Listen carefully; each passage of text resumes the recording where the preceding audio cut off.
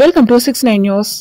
Peddapalli జిల్లా ముత్తార మండలం లక్కారం గ్రామంలో సర్పంచ్ అత్తె లలిత చంద్రమౌళి ఆధ్వర్యంలో నూతనంగా ఏర్పాటు చేసినటువంటి పల్లె ప్రకృతి వనాన్ని జెడ్పీ చైర్మన్ పుట్టమధు సందర్శించారు. అందులో ఒక మొక్కను నాటి అనంతరం వైకుంఠధామంను ప్రారంభించారు.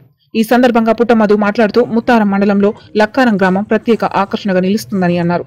ప్రతి ఒక్కరూ లక్కారం గ్రామాన్ని ఆదర్శంగా తీసుకోవాలని పిలుపునిచ్చారు. ఈ కార్యక్రమంలో market committee chairman Pudari Satyanarayana single window chairman Gujjula Rajireddy vice MPP Ravinderrao మరియు మార్కెట్ కమిటీ డైరెక్టర్లు కోఆప్షన్ సభ్యులు రైతులు హమాలీలు మరియు టీఆర్ఎస్ నాయకులు కార్యకర్తలు పాల్గొన్నారు.